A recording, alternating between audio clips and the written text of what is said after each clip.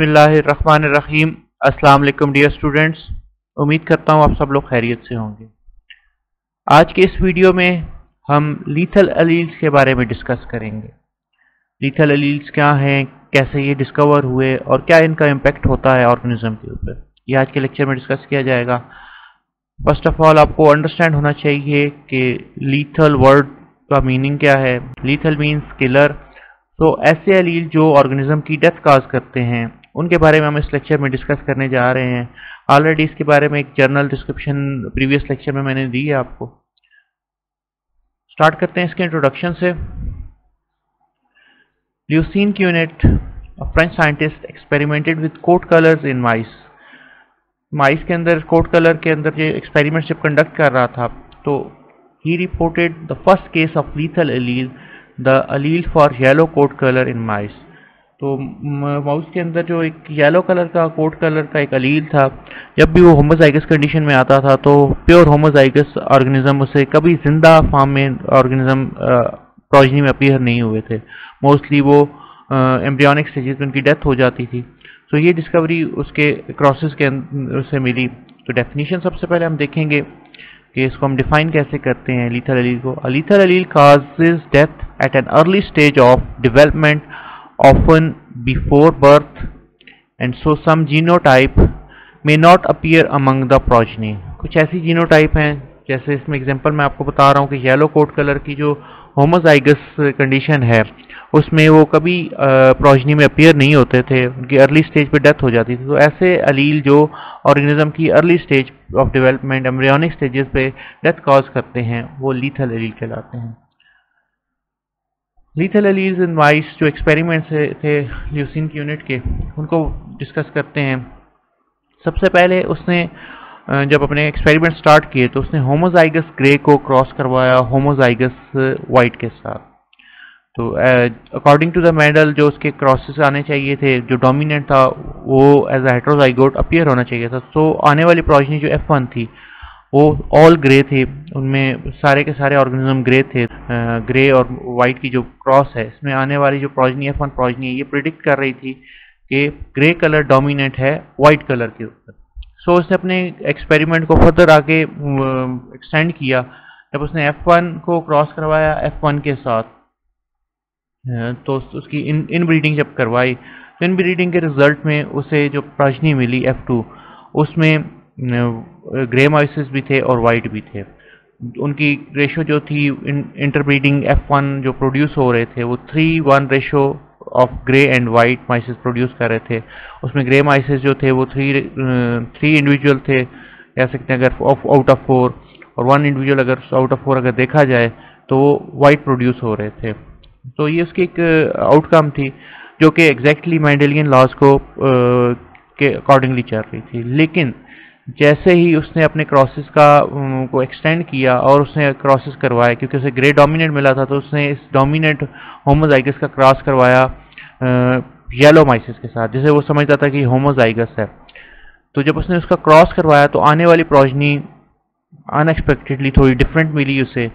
उसमें उसे एफ़ जो मिले, वो उसमें येलो माइसिस भी थे और उसमें जो ग्रे माइसिस वो भी मिले। तो ये इसकी थोड़ी सी रेशियो जो एफ़ वन रेशियो आनी चाहिए थी अकॉर्डिंग टू मेंडल के हमेशा डोमिनेट जो होते हैं ऑर्गेनिज्म वही एफ़ वन और प्रोजनी में हेट्रोजाइगोट की फॉर्म में अपीयर होते हैं। तो उसे यहाँ दोनों मिलने से उसे माइंड में क्वेश्चन मार्क क्रिएट हुआ। लेटर ऑन जब उसने इसको एक्सप्लेन किया तो कुछ इस तरह उसने एक्सप्लेन किया Cuénot crosses of yellow mices suggested that yellow coat colour was dominant over gray, but he never able to obtain true breeding homozygous yellow तो उसे उसने अपने क्रॉसेस से ये भी प्रडिक्शन दी कि जो येलो कलर है ये डोमिनेंट है ग्रे के ऊपर और जो माइस उसने इनिशियली क्रॉस करवाया था होमोजाइगस के साथ येलो कलर वाला वो बेसिकली हेट्रोजाइगोट था। सो so, उसने अपने इस एक्सपेरिमेंट को फर्दर एक्सटेंड किया और उसने सिर्फ़ येलो को आपस में येलो माइसिस जो थे उनको क्रॉस करवाया। तो येलो माइसिस के क्रॉस से आने वाली जो प्रोजनी थी उसमें जो गैमीट बन रहे थे क्रॉस होने के बाद, जब उसके पास प्रोजनी प्रोड्यूस हुई तो वो डिफरेंट रेशो वाली थी। उसमें डिफरेंट रेशो प्रोड्यूस हुई। उसमें जो येलो माइसिस थे, वो one out of two produce हुए हाफ़ येलो माइसिस प्रोड्यूस हुए while one out of four जो थे, वो नॉन येलो थे। वो ग्रे कलर में प्रोड्यूस होना शुरू हुए, या वाइट जो भी उसके साथ अलील मौजूद था, उस कलर में वो प्रोड्यूस होना शुरू हुए। वाइल उसने एक और चीज़ ऑब्ज़र्व की कि उसमें कुछ उसके जो ऑर्गेनिज्म थे वो बिफोर बात उनकी डेथ हुई थी माइसिस की जो एक प्योर येलो कलर उसके पास ऑप्टेन होना चाहिए था वो उसमें मिसिंग था। सो so, उसके कंक्लूजन के अकॉर्डिंगली जो अलील था डोमिनेंट अलील था जब भी ये होमोजाइगस कंडीशन में येलो कलर के अलील आते हैं तो माइस की डेथ होती है। जैसे इस केस में आपको नज़र आ रहा है कि डोमिनेट अलील जैसे ही दोनों इकट्ठे होते हैं कंबाइन होते हैं प्योर जो होमोजाइगस अलील हैं येलो के, वो ऑर्गेनिज्म की डेथ काज कर रहे हैं। वाइल जो प्रोजनी हेट्रोजाइगोट है, वो सर्वाइव करती है सो अकेला जो उसका अलील है डोमिनेट वो किसी होमोजाइगस किसी रिसेसिव अलील के साथ जब भी आता है तो वो सर्वाइवल की तरफ़ लेके जाता है। तो ये इसकी प्रिडिक्शन थी according to the Lucien Cuénot उसने इसको प्रिडिक्ट किया था कि जो डोमिनेट अलील हैं, ये ऑर्गेनिज्म की डेथ काज करने का सबब बनते हैं। So these are the lethal allele जो और प्रोजनी में एग्जिस्ट करते हैं, लेकिन कभी ये प्योर होमोजाइगस फॉर्म में प्रोड्यूस नहीं होते प्रोजनी एक और example lethal alleles in snapdragon है। In 1907 Erwin Baur reported a lethal gene in snapdragon Antirrhinum species में से था ये स्नैपड्रैगन उसमें ऐसे एक लीथल जीन आ, मिला। कॉमनली जो स्नैपड्रैगन है इसमें थ्री काइंड ऑफ़ प्लांट्स को हम कैटेगराइज करते हैं। Green plants which can produce chlorophyll तो उसके लिए हम डोमिनेट अलील कैपिटल सी और कैपिटल सी से से रिप्रेजेंट करेंगे। वाइल गोल्डन और प्लांट्स जो थे प्रोड्यूस होते हैं इसमें।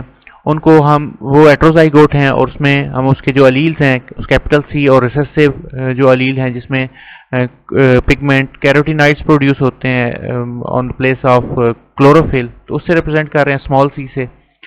इस प्लांट्स विदाउट क्लोरोफिल जो हैं जिसमें क्लोरोफिल की जगह पे कैरोटिनाइड्स प्रोड्यूस होते हैं उसको हम small c and small c से रिप्रेजेंट करेंगे।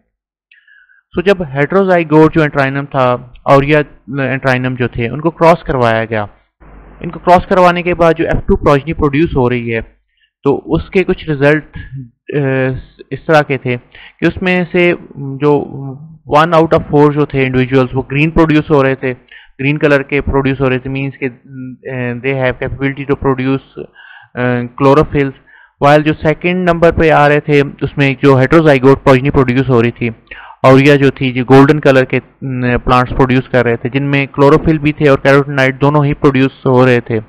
वाइल जो लास्ट उसमें एक ऑर्गेनिज्म प्रोड्यूस हो रहा था विदाउट क्लोरोफिल जिसमें कैरोटिनाइड्स प्रोड्यूस होते थे वन आउट ऑफ़ फोर या इंडिविजुअल प्रोड्यूस होते थे।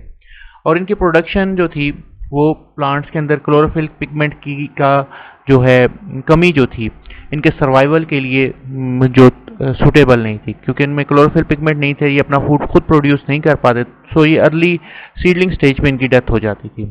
दो कि ये जर्मिनेट करते थे सीड से और इनके लीफलेट प्रोड्यूस होते थे, लेकिन due to the deficiency of chlorophyll ये फर्दर कंटिन्यू नहीं कर पाते थे अपनी लाइफ और ये डेड हो जाते थे। तो कम, जो प्रेजेंस होगी इन अलील्स की वो उसके अंदर डेथ काज करते हैं। सो एफ़ टू रेशो जो होती है, वो फिर मॉडिफाई होके बजाय मॉडिफाई होकर वन रेशियो टू पे चली जाती है, जिसमें ग्रीन जो प्लांट्स थे वो वन आउट ऑफ़ थ्री हैं वाइल जो गोल्डन प्लांट्स हैं, वो two out of three produce होते हैं। वाइल एक उसमें और जो प्रोड्यूस होना, होता है इंडिविजुअल्स वाइट प्लांट्स हैं या जो प्लांट्स विदाउट क्लोरोफिल प्रोड्यूस होते थे, वो सर्वाइव नहीं करते थे और due to the deficiency of chlorophyll उनमें फोटोसिंथेसिस ना होने से, उनकी अर्ली स्टेजेस पे डेथ हो जाती है तो ये एक लीज की एग्जांपल है प्लांट्स में से स्नैपड्रैगन में से।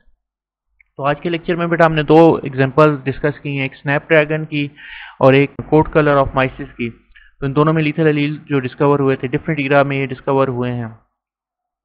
आज का लेक्चर यहीं पे एंड हुआ बेटा। नेक्स्ट लेक्चर तक के लिए अल्लाह हाफिज़, फ़ी अमान